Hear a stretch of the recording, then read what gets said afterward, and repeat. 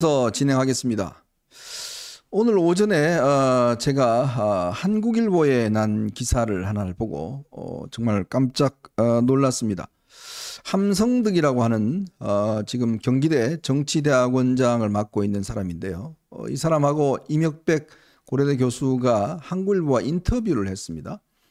근데 이 인터뷰에서 내용을 보면 두 사람이 이번에 어, 영수회담을 다 물밑에서 조율을 했다고 어, 주장을 하고 있는데 그 내용이 굉장히 좀 충격적입니다. 어, 모르겠습니다. 이 두 사람이 진짜 뭐 추진했는지 아니면 이 본인들이 좀 과대 포장해서 그냥 그 라인 중에 어, 하나인 것인지는 알 수 없겠지만 음, 뭐 일단 대통령실에서는 여러 경로로 어, 이번에 이런 것들을 추진했다고 이야기를 하고 있는데요.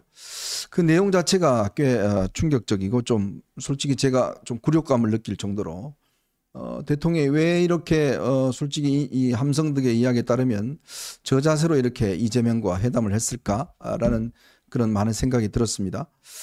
어, 물론 이건 뭐 사실관계 더 확인해 봐야 되겠지만 음, 특히 이게 공식적인 라인이 이 비서실에서 진행한 라인이 있음에도 불구하고 비선을 이렇게 이용을 해서 어, 정상회담을 추진하면 뭐 그렇게 할수 있습니다만은 근데 이게 지금 이러한 사람들은 끝까지 입을 다물어야 되는데 어, 또 금방 자기들이 했다라고 저렇게 자랑하고 나와 있으니 참 그것도 기가 막히고 그 내용 자체도 보면 어, 꽤 충격적인 내용들이 예, 많은 것 같습니다. 음. 네, 저도 뭐 아침에 일어나서 새벽에 이 기사를 보고 야, 어떻게 이런 일이 있을 수 있을까? 예, 수십 년간 정치를 에, 관찰해 왔는데 이런 거는 처음 봅니다. 네. 뭐 예를 들어서 어떤 뭐 그 배우 막후 역할을 한 사람들 네. 뭐 있을 수 있어요. 음. 뭐 비선 라인이 있었다, 작동했다. 뭐 남북 간에도 과거 에, 1972년 7.4 공동, 남북 공동성명 만들어지는 과정에서 박정희 대통령과 김일성 간에 밀사들이 한 네, 번씩 이후락이 오고 있었죠. 가고 했다. 이후락이 그때 갔다 왔다. 근데 이런 것도 음. 상당한 시간이 지나서 그럼요. 이제는 말할 수 있다. 네. 이제는 말할 수 있다 해서 그 알려지는 거 아닙니까? 그렇죠. 상당 시간이 흘려서. 그리고 본인들은 계속 말을 안 해요. 어, 그리고. 그리고 이런 경우는요 무덤까지 갖고 가야 되는 거 그렇죠. 아닙니까? 네. 그런데 그 지금 영수회담 끝난 지 며칠 됐다고 네. 저 사람들이 버젓이 그 언론에 나와서 음. 어 그것도 한국일보라고 하는 어 유수 언론에 나와서 서로 이렇게 얘기하는 거 네. 이런 건 저는 처음 봅니다. 네. 처음 봐요. 저희가 좀 이따 자세하게 좀 이야기를 하겠지만 어쨌건 참이 어, 내용들이 어, 만약에 이게 뭐, 뭐 사실일 가능성도 있고 또 아닐 가능성도 있고 또 부풀려질 가능성도 있습니다만은 어쨌건 참 이 내용들을 보면 어, 그동안 우리가 아, 그래도 기대해 왔고 또 마지막 어떤 자, 우리의 어떤 그 가지고 있는 자존심 또 우리가 어떤 정당성 뭐 이런 것들이 상당히 좀 무너지는 듯한 참 그런 느낌을 제가 받아서 참 오전 내내 힘이 많이 빠지는 그런 날이었습니다. 나중에 우리가 저희가 조금 더 본격적인 토론 시간에 어, 좀 토론을 해보도록 하겠습니다. 자, 오늘 어, 윤석열 대통령이 민정수석실을 부활을 했습니다. 김주현 전 법무부 차관을 어, 임명을 했습니다. 아, 요 사법연수원 18기고요. 일단 민정수석실을 설치를 했다. 오늘 대통령이 직접 이야기를 했고 특히 그동안 어, 민심 정치 기능이 너무 취약했다라는 어, 이야기를 했습니다. 어, 뭐 언론 사설 주변으로부터 조언을 많이 받았고 모든 정권에서 그 기능을 둔 이유가 어, 있는데 민정 업무가 제대로 되지 않았다. 저도 고심했고 복원하는 게 좋겠다고 생각했다라고 이제 오늘 어, 복귀 이유를 밝혔습니다. 참 만시지탄입니다. 아, 뭐 저도 마찬가지로 저희 어벤져스에서도 어, 저희가 거듭 거듭 이야기를 한 바 있습니다. 어, 이 대통령의 어떤 힘, 권한 어디서 나올까요? 그건 제가 수차 말씀드렸지만 정보에서 나옵니다. 정보가 있어야 아, 이 권력을 움직일 수가 있고 또 상대방이 일단 겁을 낼 수가 있고 또 대통령의 권위가 서는 거거든요. 지금 사실은 제도적으로 보면 어, 국정원의 내 그 국내 어, 기구를 전부 다 없애버렸기 때문에 이 국정원은 더 이상 사실은 이 정보 이 생산 능력이 없습니다. 국정원이라는 게 여러분 좀 부정적인 이미지가 있을 것 같은데요. 긍정적인 의미를 따져보면 국정원이 우리 사회 곳곳에 우리 국정원 아이오들이 들어가서 정말 민심의 흐름이 뭔지 그리고 또 부처는 어떻게 움직이는지 이런 정보들을 수집을 해서 대통령에게 직보를 하면 대통령 그걸 듣고서 어떤 민심의 흐름을 파악하는 거 아니겠습니까? 지금 그나마 남아 있는 거는 이제 경찰 정보밖에 없어요.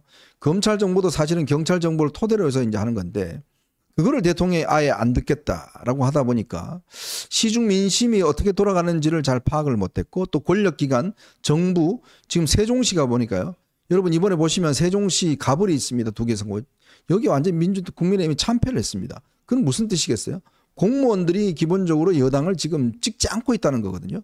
그렇다면 도대체 이 공무원 조직이 뭐가 문제인지 이런 부분에 대한 것들을 미리 미리 좀 파악을 했어야 되는데 이거를 전혀 파악하고 있지 못하다 보니까 아, 굉장히 좀 늦은 감이 있습니다만은 어쨌건 이번에 민정수석실이 일단 생겨서 이게 지금 사정 기능은 없다고 합니다. 없다고 하는데 어쨌건 이 정부 부처나 이런 어떤 국민들의 민심 이것만이라도 좀 저는 제대로 지금부터라 좀 들었으면 좋겠어요. 근데요, 제가 그 18대 국회의원 했으니까 국회의원 한 지가 이제 10년이 넘는데 그때 제가 이제 몇 가지 경험을 해봤는데 네. 어떤 똑같은 이슈에 대해서 국정원 쪽에도 뭐 자료를 요청하고 음. 경찰 쪽에도 자료를 요청해갖고 네. 양쪽 거를 같이 받아봤어요. 음. 그런 게 한 번이 아니고 몇 번 됩니다. 네. 근데 비교를 해보니까 음. 품질이 너무 다르죠? 어느 쪽이 낫냐면은 이미 국정원께 그때부터 안, 안 돼요. 안 되죠. 경찰에 네, 많이 안 돼요. 떨어졌어요. 왜냐하면 그 국정원은 일단 그 인원수 자체가 정보 네. 요원 자체가 아주 적습니다. 적죠. 예. 그러니까 뭐 국정원 아이오다 하면은요. 서울에 25개 구가 있잖아요. 예. 구면은 한 두 개 구를 한 하나씩 명이. 담당해요. 네. 두개 구를. 음. 근데 보세요. 경찰 정보는요. 정보과가 다. 정보과가 그그저 구별로 다 정 그 경찰서가 있으면 그 밑에 정보과가 있잖아요. 네. 그다음에 정보과도 이렇게 그 여기저기 돌아다니는 순환 보직하는 사람도 있고요. 정보과 그 붙박이들이 있습니다. 음. 네네. 그러다 보니까 이 정보의 quality가 경찰 정보가 훨씬 낫더라고요. 음. 근데 문제는 이 국정원 그, 그, 저 국내 파트 폐지는 이제 문재인 때 권력기관 개혁 차원에서 한 거 아니에요. 네. 그럼 그거는 어쩔 수 없고. 근데 경찰 정보라도 제대로 활용했으면 되는 그렇죠. 거였죠. 네. 근데 그거조차도 왜 제대로 활용을 못 했는지 하는 의문은 좀 남습니다. 네.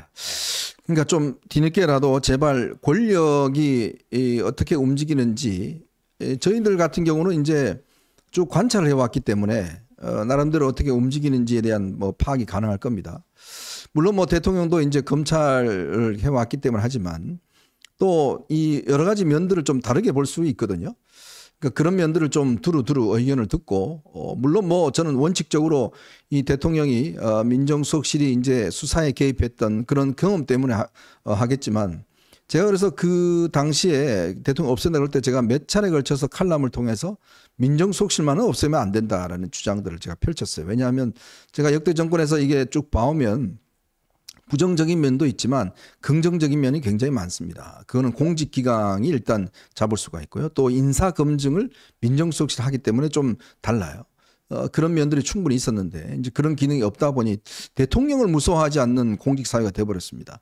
이제 그러니까 뭐 공무원들 뭐 그냥 마음 놓고 지금 뭐 민주당 아예 지지하고 그냥 뭐 지금 이번에 보면요 이 허점들이 너무 많습니다. 지금 보건복지부 같은 경우에 보면 오늘 또 했지만 지금 법원에서 회의록을 내라고 그랬는데 회의록이 또 뭐 없다는 둥 뭐 있다는 둥 지금 뭐 오락가락합니다 지금. 어, 그래도 저는 그게 제일 지금 찝찝한 네. 게요. 그 판사가 구해금 판사가 과거의 그 판결을 보면은 네. 아, 이게 돌출적인 판결이 많잖아요. 네네.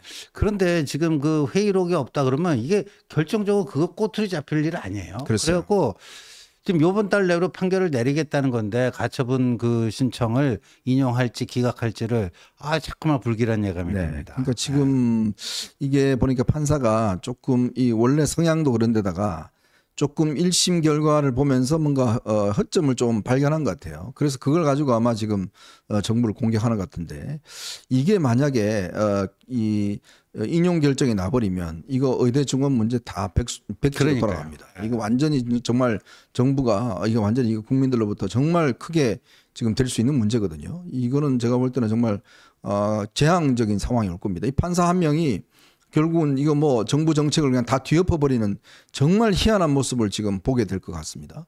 근데 지금 거기에 대처하는 보건복지부가 좀 오락가락하고 있는 것 같아요. 있느니 없느니 지금 하고 있는 것 같은데 여기서 어, 허점이 잡히면 안 됩니다. 이거는 제가 볼 때는 지금이라도 정신 바짝 차리고 대응을 하고 여러 가지 법률적 또 이러한 어떤 증거적 그런 사실들을 빨리 이 법원에서 내서 이 법원이 어, 어설픈 짓 하지 못하도록 그렇게 만들어야 됩니다. 이거 만약에 원래 이렇게 그 돼서 해- 뭐 모집 못 해버리면 이거요 학부모들 또 학생들 이 어마어마한 지금 후폭풍이 지금 될 수밖에 없습니다. 정말 이거는 이 판사 한 명 또라이 판사 한 명이 나라 정책을 완전히 지금 뒤엎어 버리는 이러한 상황도 생길 수가 있는 거기 때문에 정말 각별하게 이번에 지금 정신 바짝 차리고 이거 어설프게 보면 안 됩니다. 이 판사가 제가 알기로 굉장히 법원 내에서 또라이 중에 또라이로 아주 유명한 사람이라고 그럽니다. 다들 다른 판사들이 고개를 절레절레 흔드는 그런 판사인데 이게 왜 그랬나 제가 알아보니까요. 네. 이번에 원래 이 배당을 딴 판사한테 됐는데 음. 이번에 법원이 의대 다니는 자녀가 있거나 음. 의사가 있는 그 사람은 배제시켰대요. 오.